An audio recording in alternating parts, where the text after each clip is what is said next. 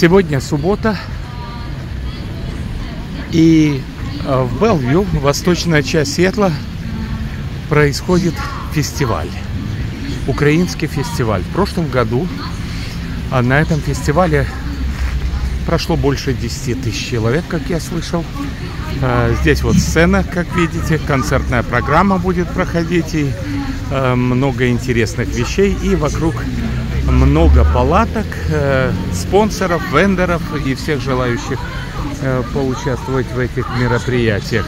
Ребята представляют бизнесы, свои сервисы, услуги. Вот также здесь, как мы видим, обклеивают машины, похоже, что-то они там такое красивое делают. Потом подойду. А, и, конечно же, а, Валерий Голобородько, почетный консул Украины в Сиэтле.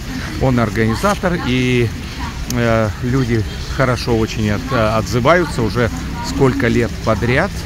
А, и этот фестиваль разрастается, становится все больше, и а, люди поддерживают Украину во всех отношениях и в том, что это захватническая э, кровопролитная война, которую начала Российская Федерация.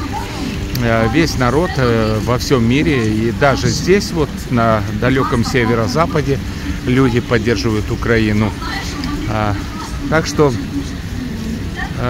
дальше не переключайтесь, мы посмотрим, что будет на этом фестивале. Я проведу какое-то время, сделаю короткие заметки. Праздник только начинает набирать обороты. Я думаю, самое интересное будет вечером. Ну а сейчас в основном родители с детьми, много детей, много э, гостей, много иностранцев, американцев и разных других национальностей. И очень много тех, кто поддерживает Украину. И, конечно же, украинцев. Вечером будет шикарная концертная программа. Очень вкусно, я уже все попробовал, что мог. Вот. Ми будемо визначати, котра ж із вас має найпрекраснішу, най...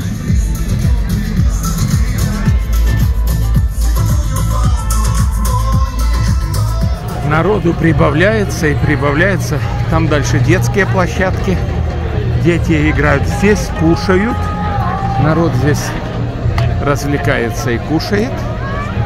А там, те палатки, я там был, э, постараюсь ставить фотографию. Там э, сувениры, э, там спонсоры и вендоры стоят со своими палатками. Утки в шоке от вот этих желто-блакитных катеров, которые здесь радиоуправляемые развлекают детей. А? Класс! Класс! Конкуренция уткам.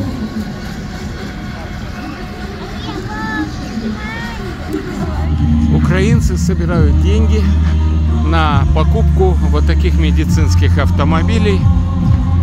Вот. И самое огромное неуважение к Российской Федерации, к их флагу, к тому, что они творят э, в 21 веке.